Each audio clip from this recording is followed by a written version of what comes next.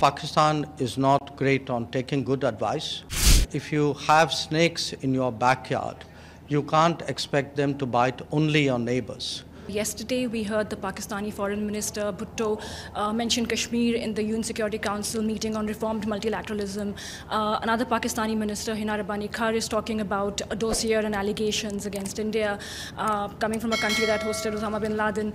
Um, uh, your thoughts uh, on this? And also a quick question on the latest clashes between the Indian and the Chinese uh, forces in Arunachal, if you can comment on that. Thank you.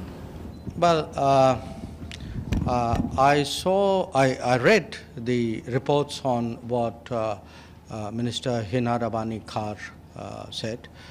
And, uh, you know, I was reminded uh, more than a decade ago, if my memory serves me right, Hillary Clinton was visiting Pakistan, Islamabad.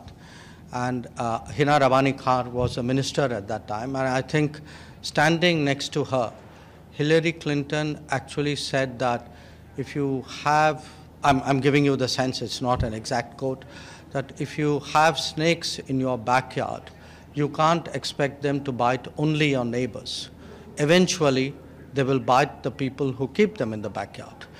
Uh, but as you know, Pakistan is not great on taking good advice, uh, and you see uh, what's happening there.